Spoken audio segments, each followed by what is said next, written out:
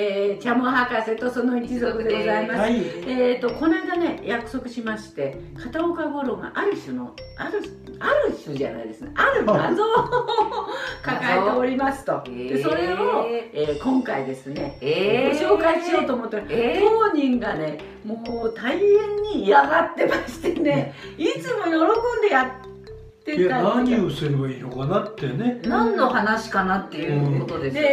でこの前はですね海老蔵さんのようなあのこれがなんでこんなにいい音なのかっていうことそれは謎じゃないです単に自己顕示欲だけですけどで海老蔵さんのように髪が丸坊主であってもちゃんとてっぺんに黒々とこのね光が当たってない。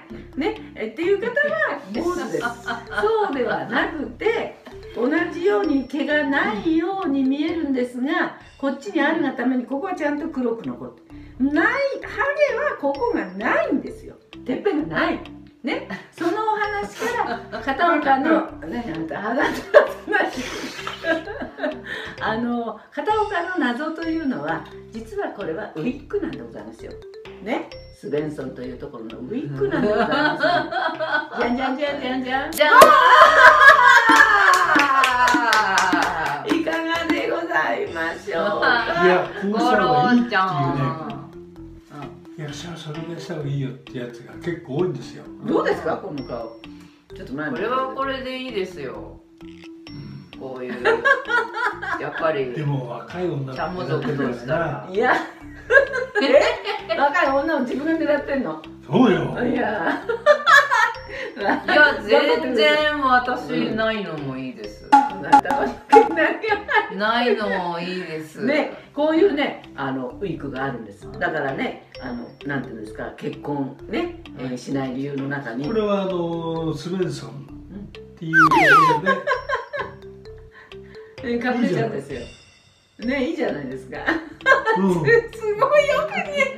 よく似合うね。夫婦で兼用でもねできますけど。あの実はねスベンソンさんスベンソンさんのところのものなんですけどスベンソンさんは自分の髪とねこう一緒に縫いやスベンソン。ほらあの困るんですよ。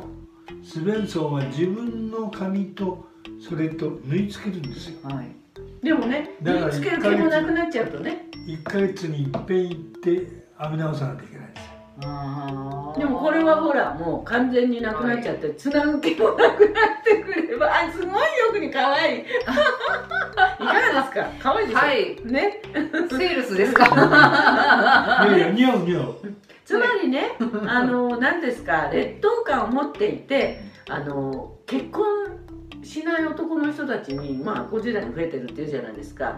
そうするとね前はねあの結婚する理由にねまあいろんな理由があるんだけどやっぱり見かけで言うとうん。ハゲてる人はやまあハゲイコールうん老いっていうかになるわけ。年取ってるってなるわ私全然ハゲいいです。けねそれはまあねあの全長い人生を生きてきた。え？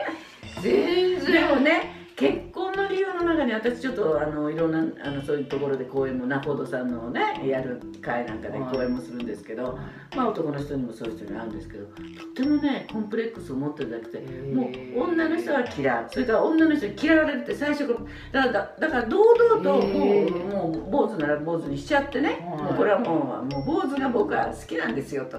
まあ、ここ光ってるの分かったとしてもですよ、で堂々とすればいいんだけど隠そうとするから昔ほら91に分けてた評論家の人がは9.1分け。い だってうちの近所のコンビニでもう本当になんかあの振りなんかこう振りかけてるような本当にマジックで描いたような頭の人がレジ売っててもうずーっと見ちゃいますもんだから変に変不芸能界も自然にね不自然にねやらないで。でも男性やっぱ気にしてんですか？気にしますよ。特にあの2枚目とかね。主役やってる方がだんだんちょっと薄毛になってきちゃったり。で加山さんはそうですよ。うん。えあんまり言っちゃいけない。別にいいんですけど小林蓮司もそうだしえねでもはっきり否定してましたよ。これ違いますよって。加山さんの場合はね。まあこれは言っていいかどうかわかんないけど私はそういう方もいると思う。全部が全部ねうん。あのウィッグに見えるように濃くあのちゃんと保ってる方ももちろんいるよ、うん。だけど髪がないからって言って劣等感持つ必要はないんじカルマさゃないかってんの場合っていうのは違いますよ。カツラじゃないんですよ。うん。上に行ったんですああはは今ねやっぱり上ありますよね。女性の人にもありますよね。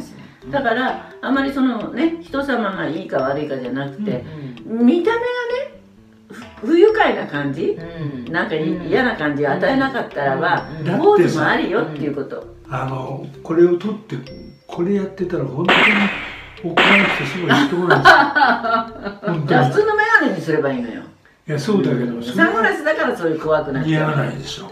だから楽しむっていうか自分のねうん。欠劣等感もうん。含めてね楽しまないとうん。人生100年ですよ。髪だってなくなりだから僕はます3種よ類持ってますよ。ええでねあの女性もね薄毛とか抜け毛とか、あのあの何ですかほらうんこういうこういうのようにあの円形脱毛症。ものすごく悩み多いんですね。だからがんになると髪が抜けるっていうことで悲しくなるっていう人もすごくいるんだけどそれでもう逆に女なんだけどねもうバーッと髪なくしちゃってってうん。かっこよく決めちゃうっていう人だってね時代ってそうに変わってくるわけじゃない？だからそういうことで結婚を諦めるとかね。は遊びに来てくださいそれからなんだろう 劣等感を持つ必要ないっていうこととうん。劣等感を持たせちゃいけないね。うん。我々がね、うん。うん、私もちょっとバカにしてた時。ええ でもね私もウィッグをねつけてるんですけどね。うん。それはなんでかっていうと、まあ、テレビに出ますよね、前から映してくれてるわけで。うん。後ろから映られた時に多くの人が髪が薄いの分かるでしょううんん確かに。ね？男の人なんか特に前から見ておななんかちょっとあとこううなずちょっとね。うん角度で。そう後ろから見てえーって思うことよくあるじゃないですか。だからあのそういうこともあって私はやっぱりもともとね、うんうん。あの別にハゲてるわけじゃないですよ、うん。でもあのウィッグを使ったりするのも全然ありですね、うん。でそういうことも含めて新しい美っていうのも今この暇な時に暇って言っちゃ失礼ですね、うん。あのーまあ、美容室にも行かれないっていう時ですから、その美容のあり方なんかも考えられたらいいんじゃないかななんて、あの茶も博士は美容のことを教えるもんですから、はい。そういうことをご提案したいと思います、はい。ではまた